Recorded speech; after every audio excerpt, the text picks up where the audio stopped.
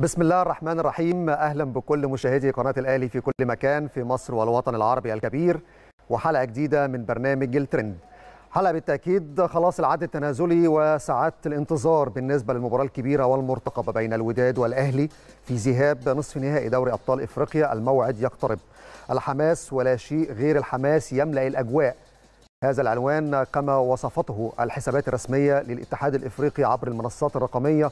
صباح اليوم استعدادا لهذه الموقعة والمباراة المنتظرة إن شاء الله يوم السبت القادم. حلقة النهاردة فيها تفاصيل كتيرة وهنتكلم عن المباراة بشكل مفصل وهنروح المغرب. وعندنا كلام كتير جدا سواء على السوشيال ميديا أو معلومات تخص هذه المباراة وأيضا كمان عشان نطمن جماهير النادي الأهلي في كل مكان. لكن سريعا ندخل في تفاصيل الحلقة ونطرح سؤال مهم جدا بالنسبة لجمهور النادي الأهلي. اللي بالتأكيد من اللحظة دي لحد الساعة 9 يوم السبت الكل قاعد بيتوقع التشكيل وممكن الأهلي يلعب إزاي أمام فريق الوداد. عشان كده طرحنا هذا السؤال والكل يشارك معنا من خلال صفحات القناة عبر السوشيال ميديا صفحة الفيسبوك وتويتر وإنستجرام. توقعاتكم لتشكيل الأهلي ومين ممكن يبدأ هذه المباراة أمام الوداد المغربي شاركوا معنا في الإجابة على هذا السؤال وبالتأكيد في الفقرة الأخيرة هنعرض إجاباتكم بالنسبة لتوقعاتكم لتشكيل الأهلي وإزاي هيبدأ بيتسو موسيماني مباراة الوداد المغربي يوم السبت القادم. لكن ندخل بسرعة في عناوين الحلقة وترندات حلقة النهارده.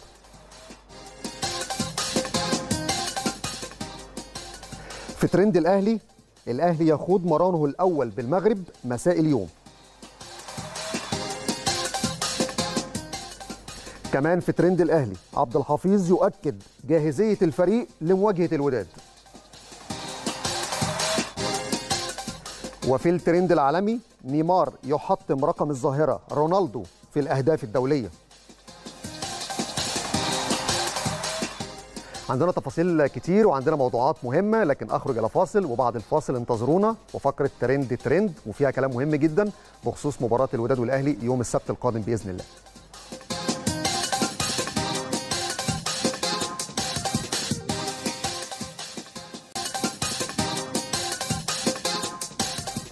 أهلا بحضراتكم من جديد وفقرة ترند الترند وطبعا بالتأكيد ترند الترند النهارده هو أبرز حدث وأبرز خبر بالنسبة لنا وبالنسبة لكل جمهور النادي الأهلي مباراة الوداد المغربي. لذلك سريعا أطير إلى كازابلانكا والمغرب والاستعداد لمباراة الوداد والأهلي. وبالتأكيد زميلي العزيز كريم أحمد مراسل قناة النادي الأهلي وكريم مساء الخير عليك. الحمد لله على السلامة.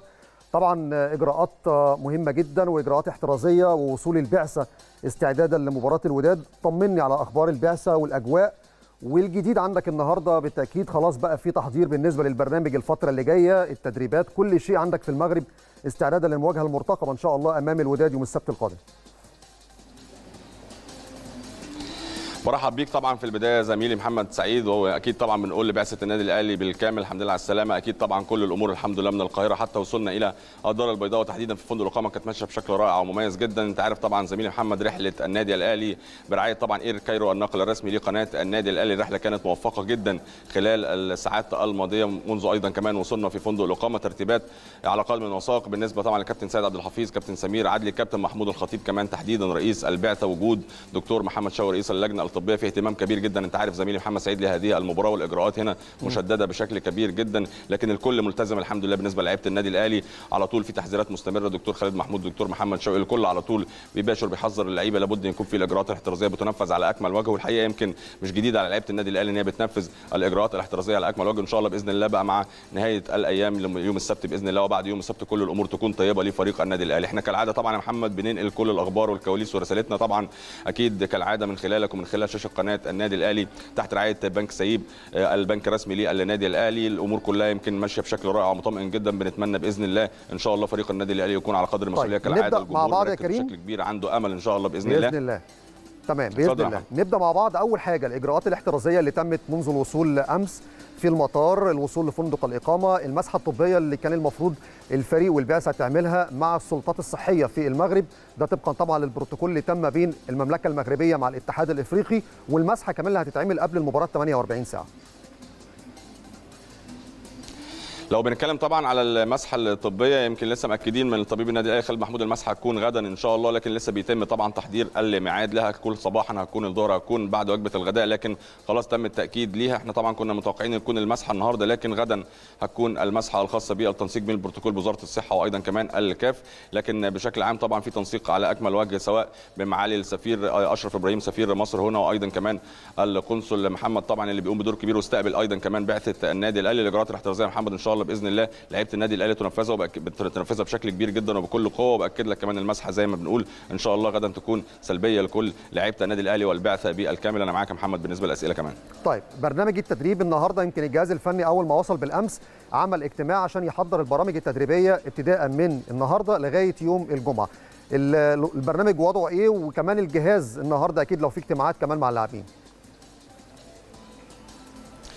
أنا هبدأ معاك طبعا في البداية بالنسبة للبرنامج الخاص مع التنسيق التنسيق بين بيتسو موسيماني المدير الفني والكابتن سيد عبد الحفيظ. تم اختيار الملعب. يمكن النهارده كابتن سيد عبد الحفيظ صباحا تواجد مع الكابتن سمير عدلي اللي اختيار ملعب. كان في ملعبين طبعا. كابتن سمير راح بنفسه زار الملعب عين أرضية الملعب. ملعب كهرماء كاليفورنيا البيضاء. ده اسمه طبعا الحرفي هنا في المغرب لكن بيتقال عليه على طول كهرماء كاليفورنيا. بيبعد عن هنا 25 دقيقة من فندق الإقامة. يعني كابتن سيد يمكن سألناه الملعب جيد إن شاء الله؟ لعيبة النادي الأهلي تستفيد منه. يبقى جرعات تدريبية مكثفة لفريق النادي الاهلي. أيضا كمان انت عارف ان القائمه بتضم 22 لاعب لكن عايز اطمنك بشكل عام على عدد من اللاعبين بالنسبة للاصابات وده أمر مهم جدا حابين نطمن عليه كل جمهور النادي اللي عندنا بعض اللعيبه اشتكت من اصابات الشناوي وايمن اشرف هبدأ بيهم. الشناوي وايمن اشرف طبقا طبعا لتصريحات الدكتور خالد محمود جاهزين إن شاء الله بإذن الله للمباراة اللي هتقام يوم السبت بإذن الله على ملعب مركب محمد الخامس في تمام الساعة الثامنة. أمر مهم جدا كنا حابين نطمن عليه والنهاردة كمان هنشوفهم في خلال التدريب الأول اللي هيكون في تمام الساعة الثامنة مساء. تم تحديد موعد التدريب مع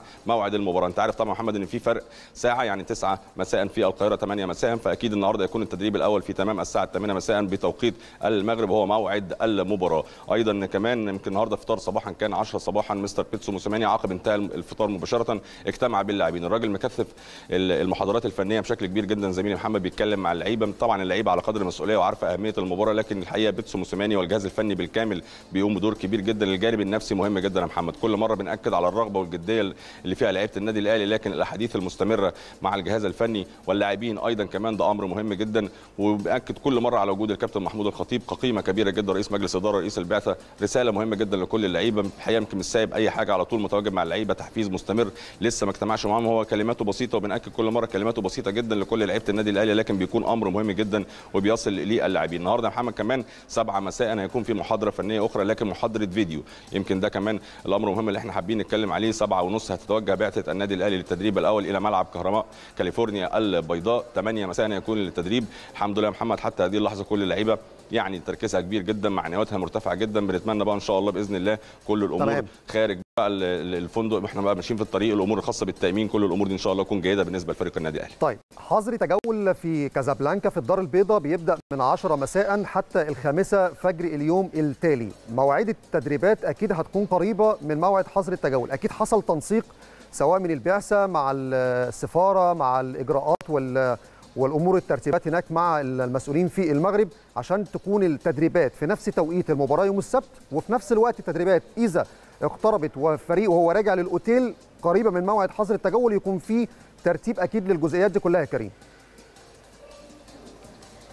نقطة مهمة جدا زميلي محمد انت تتكلم فيها طبعا بالنسبة للحظر لكن قبل الحظر عايز أقول لك دلوقتي إن في هذه اللحظات منتظرين وصول علي معلول وجيرالدو يمكن. الكابتن سمير عدلي متواجد في المطار لأن أنت عارف طبعا هيصلوا إن شاء الله لفندق الإقامة منتظرينهم هيصلوا في هذه اللحظات إن شاء الله. برجع معاك بقى طبعا للإجراءات هنا الخاصة بها التأمين وبنبقى أيضا كمان بالنسبة لي الامر الخاص بوصول لعيبة النادي الأهلي أو خروجهم أو الحظر ميعاد الساعة 8 الحظر هنا محمد من 10 مساء ل 5 الفجر يمكن كان في بعض الأقاويل أو بعض المواقع كانت كاتبة إن الحظر من 6 صباحا ل 6 المغرب لكن اتاكدنا هنا طبعا من التأمين وأيضا كمان قوات الشرطة المتواجدة. 10 مساء هنا هيبدأ الحظر ينتهي الساعة 5 طبعا 8 مساء التدريب و25 دقيقة رايح 25 دقيقة جاي مع ساعة تدريب. فأكيد إن شاء الله لعيبة النادي الأهلي هتكون متواجدة قبل الحظر. وأنت عارف طبعا محمد يعني مع البعثة الرسمية في تأمين يعني مميز جدا بنتمنى كمان إن هو يزيد مع اقتراب يوم المباراة. يوم السبت هو يوم مهم جدا لفريق النادي الأهلي تحديدا للتأمين. لكن التنقلات التحركات كان فيها تنسيق كبير جدا. طبعا زي ما أكدنا قلنا من معالي السفير أشرف إبراهيم وأيضا كمان الكابتن سيد عبد الحفيظ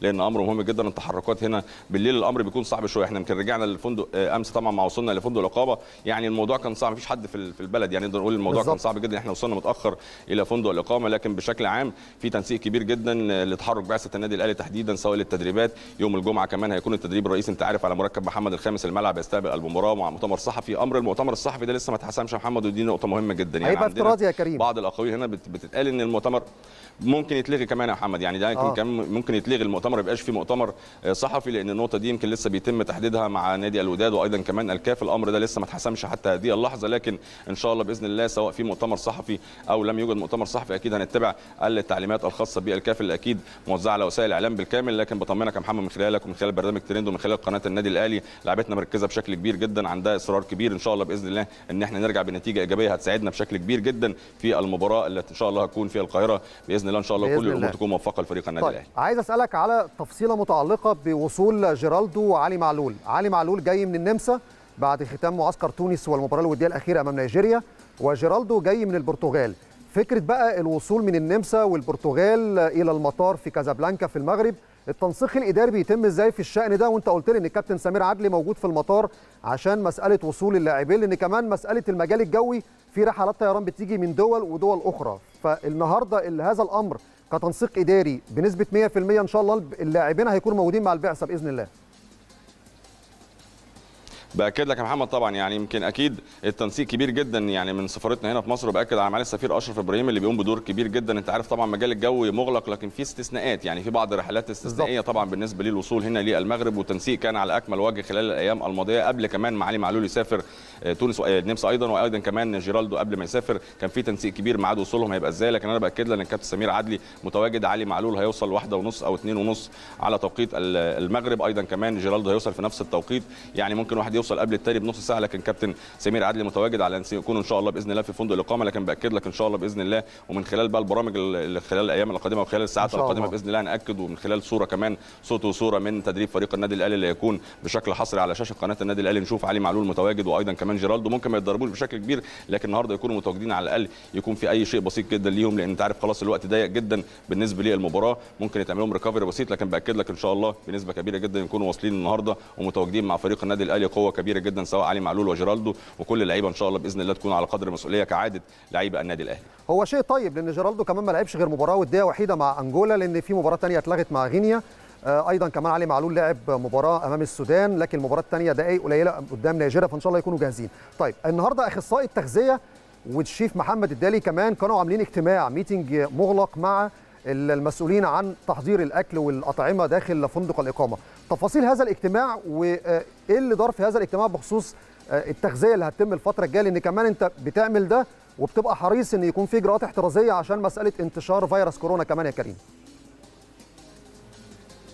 يعني زي ما بنأكد يا محمد الإجراءات هنا قوية جدا تحديدا لبعثة فريق النادي الأهلي والحقيقة كمان الدكتور عبد الرحمن أخصائي التغذيه بيقوم بدور كبير جدا الأكل بالوزن كل حاجة بمقدارها. الراجل يمكن بشكل محترف بيقوم مع فريق النادي الأهلي كل الأمور محسومة بشكل كبير جدا بالنسبة لوجبات الكربوهيدرات كل الأمور دي يعني شيء طيب جدا ومميز جدا. والحقيقة بنشيد بالدكتور عبد الرحمن مع الشيف الدالي أكيد اللي مرافق بعثة النادي الأهلي على سفريات كثيرة جدا وليه دور كبير جدا في تهيئة الأجواء الصحية والطعام والأمور كلها. عارف اللعيبه طبعا بتاكل إيه إمتى النهارده ياكل اللعيب ده ما يزودش. كل الأمور دي يمكن لو ما فيهاش تخصص بالأمر بيكون صعب لكن لعيبة النادي الأهلي والنادي الأهلي بشكل عام أما بيكون في تخصص الأمر بيختلف بشكل كبير. كل الأمور دي يا محمد طبعا أكيد كان في اجتماع أول يوم كمان يعني نقدر نقول كمان أول يوم والنهاردة كل يوم في اجتماع مع الجهاز هنا أو مع الفندق بشكل عام على الأكل. في حاجات بسيطة جدا ممكن تضاف حاجة ممكن تكشف حاجة لكن بشكل عام الإجراءات هنا منفذة بشكل كبير جدا. الحاجات بقى كلها الخاصة بالشوك البلاستيك السكاكين كل الحاجات دي أكيد النادي الأهلي ما بيستعملهاش. كلها حاجات تيك لأن أنت عارف الإجراءات هنا مشددة بشكل كبير جدا وفي التزام كبير.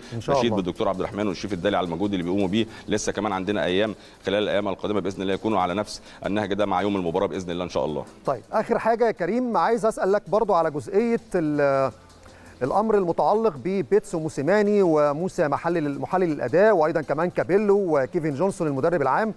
كواليس كده واجتماعاتهم ودي أول رحلة مع بعثة النادي الأهلي. رصدت الأمر ده إزاي؟ وشايف بيتسو موسيماني بيجتمع مع اللعيبة حتى أمام الجميع هل بيتحدث معاهم؟ هل آه، يعني آه، منعزل وبيتفرج على آه، مقتطفات من مباريات الأهلي مباريات الوداد؟ يعني الحالة العامة اللي فيها بيتسو موسيماني والجهاز المعاون ليه في أول رحلة طيران وبعثة مع النادي الأهلي في هذه المباراة.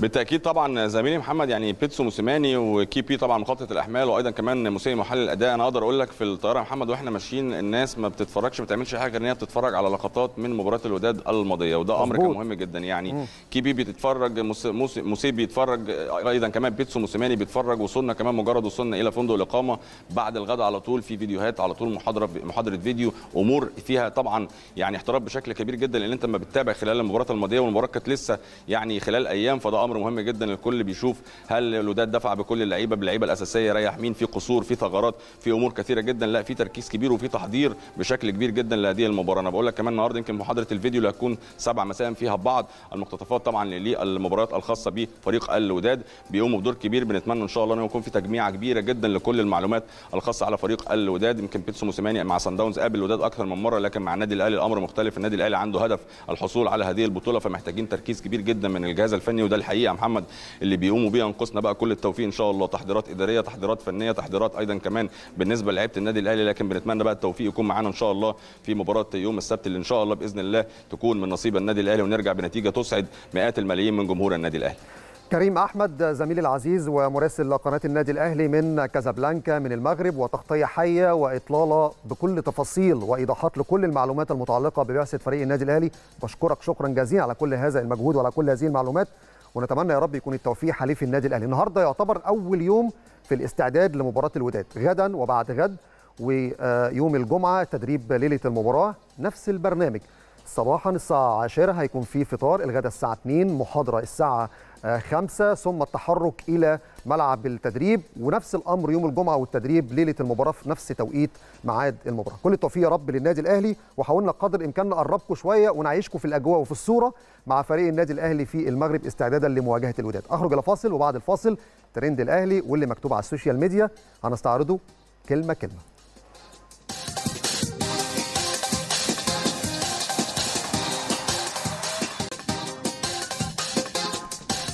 أهلا بحضراتكم من جديد وفقرة ترند الاهلي وهنشوف مع بعض بقى إيه اللي اتكتب على السوشيال ميديا خلال الساعات الأخيرة قبل المباراة الكبيرة مباراة الوداد والأهلي ويمكن حديث كبير جدا وفي زخم جماهيري عبر السوشيال ميديا بخصوص هذه المباراة. أول حاجة من الصفحة الرسمية للنادي الأهلي على الإنستجرام واللي أعلن امبارح إن حارسنا المتألق محمد الشناوي هو نسر شهر سبتمبر 630 دقيقة. مباريات طبعا سبع مباريات شباك نظيفة ويمكن الشناوي عمل ريكورد مميز جدا خلال هذا الموسم في الحفاظ على الشباك النظيفة. لسه أيضا مع الحساب الرسمي للنادي الأهلي على تويتر واللي نشر فيديو للكابتن محمود الخطيب مع اللاعبين في الطائرة وكتبوا عليها أو في التغريدة باقي من الزمن ثلاث أيام أو ثلاثة أيام نثق بكم يا أبطال.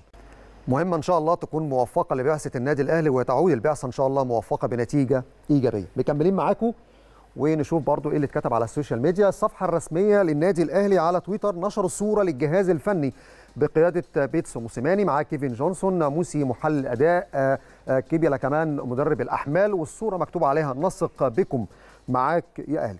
طيب الصفحات الجماهيرية ودورها في التوقيت الحالي. صفحة الأهلي اليوم نشرت صورة جماعية لفريق النادي الأهلي وكتبوا عليها أفريقيا يا رجالة. كل التوفيق يا رب في مباراة الوداد مباراة الذهاب. لسه في شوط تاني مباراة العودة في مصر إن شاء الله. كمان صفحة ماجيكانو من الصفحات الجماهيرية أيضا نشرت صورة وعليها نفس الصورة بتاعت لاعبي النادي الأهلي وكتبوا عليها كونوا على قدر المسؤولية قدها يا أبطال بإذن الله. أما الحساب الرسمي اللي في الجول على تويتر نشر صورة لمحمود كهربا والكل طبعا بيسأل في الفترة الحالية حالة محمود كهربا جاهزيته لمباراة الوداد. وفي الجول بيكشف فرص لحاق كهربا في الظهور أمام الوداد أصبحت صعبة. النهارده الأربع لسه قدامنا بالظبط 72 ساعة على المباراة لكن هنشوف الجهاز الطبي هيتعامل إزاي مع هذا الأمر ويفضل عدم الحديث عن هذا الموضوع لغاية لما نشوف الجهاز هيشتغل إزاي لغاية مباراة السبت اللي جاي. الصفحة الرسمية للكاف على تويتر نشروا تاريخ مواجهات الأهلي والوداد وكتبوا كل ما تود معرفته حول المباراة المنتظرة في نصف نهائي دوري الأبطال. طيب عايز أتكلم على جزئية مهمة جدا. مباريات الوداد والأهلي في البطولة الإفريقية بنتكلم حوالي 8 مباريات. الكفة متساوية لأن الأهلي فاز على الوداد مباراتين والو... والوداد فاز على الأهلي مباراتين والفرقتين اتعادلوا مع بعض أربع مرات. لكن في جزئية مهمة جدا سواء في المباريات المجموعات أو حتى مباريات نصف النهائي. الأهلي أكتر فريق في دوري أبطال إفريقيا وصل لمرحلة الدور نصف النهائي. الوداد طبعا يمكن بعيد شوية في مسألة الأرقام بالنسبة لمرحلة النصف النهائي لأنه ما وصلش غير خمس مرات وتأهل من الخمس مرات أربع مرات للمباراة النهائية. لكن الأهلي عمل رقم كبير جدا وصل للمباراة النهائي النصف النهائي 15 مرة وعمل رقم قياسي في التأهل للمباراة النهائية. مهم جدا عايز أقول على حاجة الوداد في آخر 26 مباراة على ملعبه في البطولات الإفريقية لم يخسر سوى من الأهلي. كانت آخر خسارة للوداد بتاريخ 27 7 2016 الهدف اللي أحرزه رامي ربيعة للنادي الأهلي عندما كان مارتن يول المدير الفني للنادي الأهلي. المباراة كانت تقام في الرباط ويمكن جماهير الوداد بتقول لا ما بنخسرش في مركب محمد الخامس. لكن الأهلي لما كسبنا كسبنا في ملعب مولاي عبد الله في الرباط. عموما الأهلي فاز في المغرب على فريق الوداد وإن شاء الله يقدر يعمل نتيجة إيجابية في مباراة السبت القادم. بشكل عام ده كان الحديث عبر السوشيال ميديا خلال التوقيت الحالي بخصوص مباراة الوداد والأهلي. أخرج إلى فاصل وبعد الفاصل فقرة ترند أونلاين وعندنا بالتأكيد مداخلة وكلام مهم جدا عن استعداد الوداد أيضا لمواجهة الأهلي وآخر الأخبار المتعلقة بالإجراءات التنظيمية لهذه المباراة.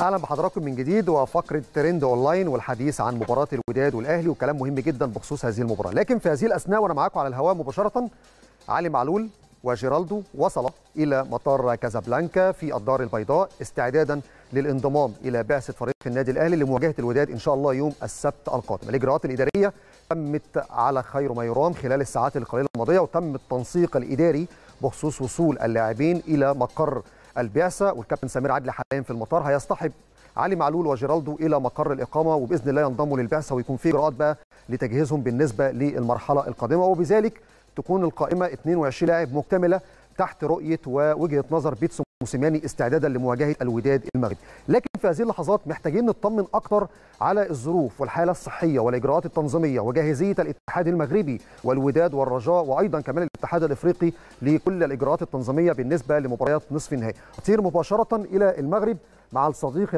العزيز والزميل العزيز الأستاذ محمد زايد رئيس تحرير موقع البطولة. محمد مساء الخير عليك. يا رب تكون كل الأمور صفا مزيان وتكون بزاف بخير إن شاء الله. مساء الخير زميلي محمد مساء الخير لكل المشاهدين الكرام وشكرا لك صديقي العزيز على هذه الاستضافة. اولا سعيد بوجودك معايا وعايز أطمن منك اولا على الحالة الصحية وعلى أشقائنا في المملكة المغربية والأمور كلها يا رب تكون لأفضل يا رب الفترة الجاية قبل إقامة المباريات أو حتى بغض النظر عن أي مباريات أو أي أحداث رياضية العلاقة بين مصر والمغرب كبيرة جدا أكيد. صحيح.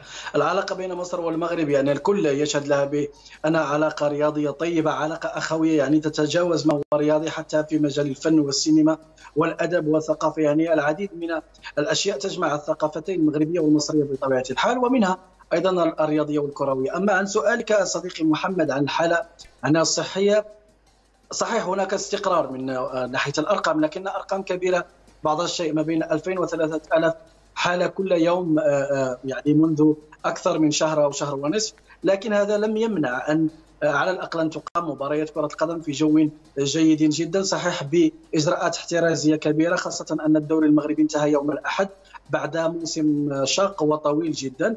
وسلم الدرع درع البطل لفريق الرجاء الرياضي هذا الصباح أيضا بدون أدنى مشاكل. اذا يعني إجراءات أو الإجراءات التي تقوم بها الدولة بشكل عام والجامعة الملكيه المغربية لكرة القدم. إجراء المباريات هي يعني ناجحة إلى حد كبير لكن هناك بعض الصرامة أكثر من من الأشقاء في مصر.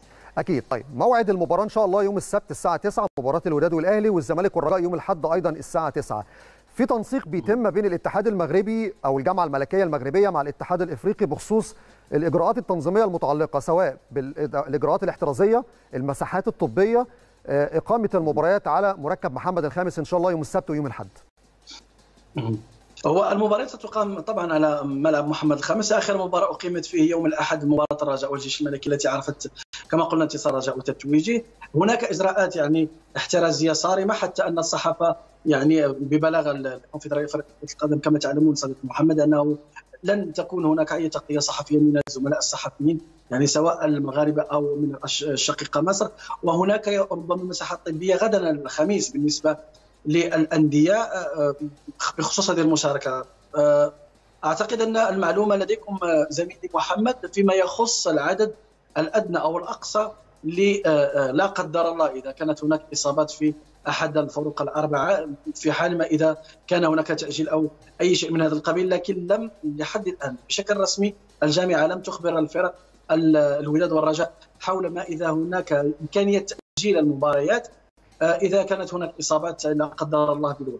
محمد بص في هذا الشأن إحنا اتكلمنا امبارح والحمد لله كان لنا السبق في يعني كشف هذا الموضوع عشان الجمهور والإعلام يكون متابع للأمر ده. المنشور الطبي اللي اتبعت لكل الأندية بالتنسيق مع الاتحاد الإفريقي لم يتحدد أو لم يحدد فيه أي عدد إذا لكانت لا قدر الله في إصابات كورونا في أي من الفرق الأربعة خلال الفترة الجاية. ولكن اللجنة الطبية في الاتحاد الإفريقي هتكون موجودة من النهارده في المغرب لمتابعة المساحات الطبية من خلال إحدى المعامل المعتمدة في وزارة الصحة المغربية. أي إصابة لا قدر الله هترفع الأمر للجنة الأندية. لجنة الأندية في الاتحاد الإفريقي هتكون موجودة يوم الجمعة على هامش إقامة مراسم قرعة ملعب النهائي.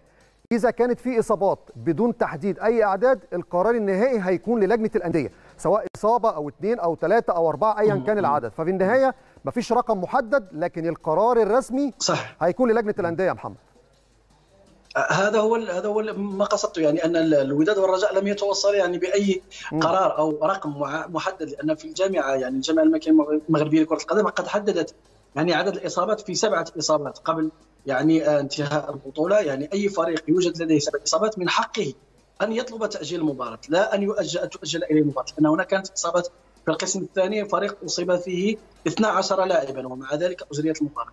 لذلك الوداد والرجاء يعني استفسر عن هذا الأمر لأنه كما تعلم أنه خاصة فريق الرجاء الذي عرف إصابة لاعب واحد يعني في مشوار البطولة لكن تحديدا لم يكن هناك أي أي تحديد وأن الجامعة أخبرت ان الأندية أن تحضر نفسها جيدا للمباراتين بشكل يعني بدون أي تشويش وبدون أي تفكير فيما يتعلق بالاصابه. طيب غيابات الوداد والرجاء يمكن في كلام كتير عبر السوشيال ميديا والمواقع الإلكترونية الأسماء أو الأرقام الغيابات لسه مش محددة، مين مؤكد غايب هيكون في الوداد ومين مؤكد غايب في الرجاء؟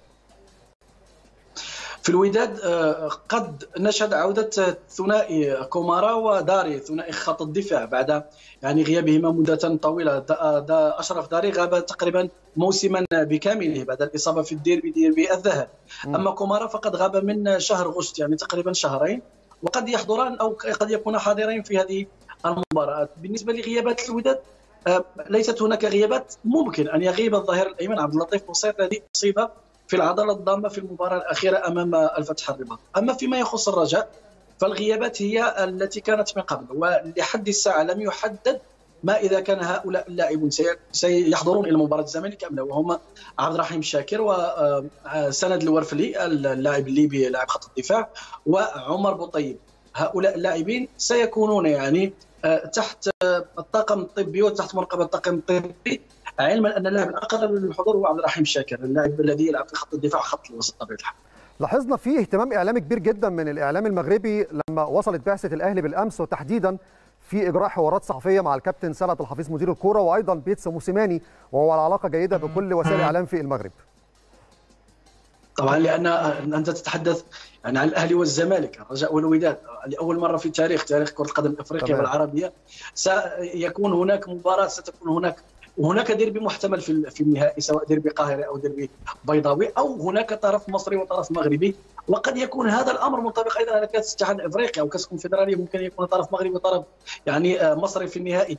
لذلك هذا الموسم استثنائي بكل ما تحمل من معنى سواء من حيث يعني وباء كورونا أو من الظروف التي تلعب فيها المباريات. وحتى اللاعبين مثلا الذين يلعبون في الزمالك نحن نعلم أن هناك بن شرقي وأناجم مناجم الذي يعود إلى مركب محمد الخامس بقاموس جديد. ولكن منافس معتاد. هو وبن شرقي. وموسيماني الذي لعب ضد الوداد في خمس سنوات. محمد خم... عشر مباريات. خمسة في الدار البيضاء وخمسة يعني في أو أربعة في الدار البيضاء واحدة في الرباط وخمسة في الجنوب الافريقي كل هذه الأمور والعلاقة بين الوداد والأهلي وكل هذه التفاصيل يعني جعلت من حضور الفريقين فقط يعني حضورا كبيرا كبيرا. يستحق عن تغطيه إعلامية كبيرة. لأن حضور اشقاء أول شيء وأيضا حضور ناديين يعني يتمتعان بشعبيه كبيرة واحترام كبير هنا. أكيد يا محمد وأنا بشكرك بالتأكيد لكن طبعا قبل إقامة المباريات في حاجة كلنا هنتابعها كلنا يوم الجمعة اللي جاية مراسم قرعة ملعب النهائي. أكيد هتكون فيه متابعة لا تقل أهمية عن صحيح. متابعة المباريات يوم السبت والحد إن شاء الله. صحيح أمر جد جد مهم لأن كما قلنا في حال ما إذا تأهل طرفين من نفس الدولة سيقام النهائي باستاد القاهرة ومركب محمد الخامس. لكن. أن يقام النهائي بمصر أو بالمغرب سيكون حافزا معنويا ربما أعتقد قبل إجراء مباريات نصف لأي فريقين سيقام النهائي في بلدهم. أكيد أن إذا اختارت القرعة الدار البيضاء سيكون حافز مهم للوداد والرجاء وإذا اختارت القاهرة سيكون أكثر حافز للأهلي والزمالك والذي نتمنى يعني بصدق أن تمر المباريات ونحن متأكدون من هذا في روح رياضية كبيرة والأفضل هو من سيفوز وهذا ليكون اللقاء الأخير هناك لقاءات متجددة دائما كما عودتنا العصبه الابطال. أكيد زميلي العزيز والمتألق رئيس تحرير موقع البطولة الأستاذ محمد زايد أنا بشكرك شكرا جزيلا وكل التوفيق يا رب للكرة المغربية والكرة المصرية ونشوف مباريات فنية على أعلى مستوى بإذن الله خلال الأسبوع القادم. نقطة مهمة قبل ما أختم هذا الموضوع وأخرج إلى فاصل. حتى هذه اللحظة يا جماعة أنا بشوف اللي بيكتب على ال social media بخصوص الأطقم التحكيمية اللي هتدير المباريات. لم يعلن بشكل رسمي مين الحكم اللي هيدير مباراة الوداد والأهلي. الحكام النهارده آخر يوم في المعسكر المقيم هنا في مصر غدا هيسافروا كل الحكام هيسافروا إلى المغرب. هيكون في مسحة طبية يوم الخميس يوم الجمعة تعلن نتيجة المسحة الطبية. وإذا كانت كل الحكام نتائجهم إن شاء الله بإذن الله تكون سلبية سيعلن الاتحاد الإفريقي الأطقم التحكيميه اللي هتدير المباريات. بدءا من يوم السبت حتى يوم الثلاث دوري الأبطال والكونفدرالية. ده عشان أنا عارف إن في لغط كبير جدا على ال social media. مفيش صحة لأي كلام بخصوص أطقم التحكيم بالنسبة للفترة اللي جاية. لسه الكلام ده على يوم الجمعة. أخرج إلى فاصل وبعد الفاصل الفقرة الأخيرة من برنامج الترند.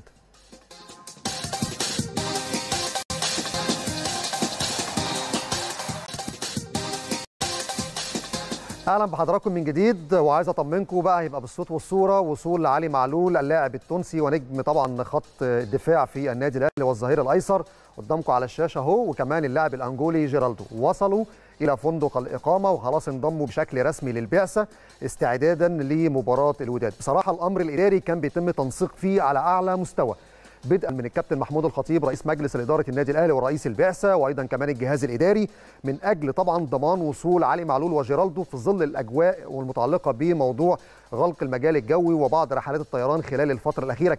الحمد لله تم تنسيق واللاعيبة حاليا دلوقتي في المعسكر وانضموا للفريق. وهيتم بقى بعض الإجراءات أو عدد من الإجراءات الاحترازية لانضمام اللاعبين بالنسبة للمرحلة اللي جاية سواء الإجراءات الاحترازية مسحه كورونا وخوضهم التدريبات وجاهزيتهم كمان والاستشفاء قبل مباراة الوداد المغربي. خلاص الوقت ضيق 72 ساعة ويمكن النادي الأهلي تحديدا كان أمر مختلف لأن لعيبة الوداد ولاعيبه الرجاء اللي كانوا بيلعبوا في منتخب الكونغو لعبوا قدام المغرب في المغرب.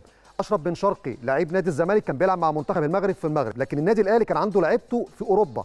فتم التنسيق على أعلى مستوى من أجل إن هم يكونوا موجودين مع البعثة قبل المباراة ب 72 ساعة. طيب بشكل عام النهارده كانت الأجواء الحمد لله جيدة وإن شاء الله بإذن الله نطمن على البعثة بالنسبة للفترة اللي جاية. بشكر حضراتكم بالتأكيد على حسن المتابعة والمشاهدة وبإذن الله يا رب نلتقي مع بعض الأسبوع القادم ويكون الأهلي عامل نتيجة إيجابية في مباراة الذهاب تساعده على الشوط الثاني ومباراة العودة في القاهرة إن شاء الله بعد أسبوع من مباراة الذهاب يوم السبت القادم. بشكر حضراتكم على حسن المتابعة والمشاهدة ونلتقي على خير يا رب بإذن الله في حلقات أخرى قادمة من برنامج الترند. شكرا.